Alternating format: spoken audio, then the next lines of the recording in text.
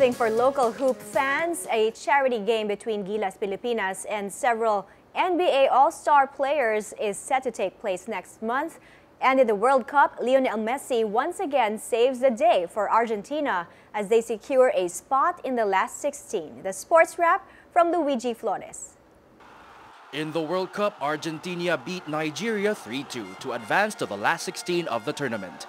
Lionel Messi scored twice after lashing in a rebound three minutes into the game and nailing a 20-meter free kick in the first half. Marcos Rojo sealed the game-winning goal for the Argentinians. Nigeria still managed to enter the next round as they finished second in Group F after Bosnia and Herzegovina booted Iran out 3-1. Still in the World Cup, Switzerland also booked a spot in the upcoming eliminations after demolishing Ecuador 3-0. Xherdan Shaqiri was on fire as he came up with a hat-trick with some help from Josip Drmic to send Honduras home.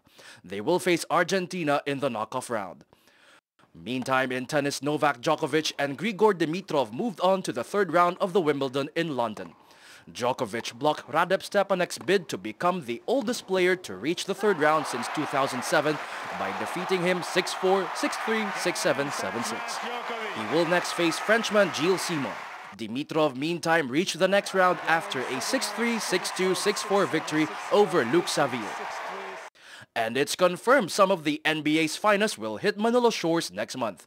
It was announced on Twitter by Samahang Basketball ng Pilipinas President Manny V. Pangilinan and Gilas head coach Chot Reyes.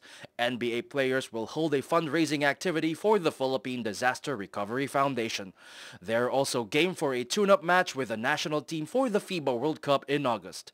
Players reportedly visiting the country include LA Clipper star Blake Griffin, Portland Trail Blazers Damian Lillard, Brooklyn Nets Paul Pierce, and former NBA head coach John Lucas.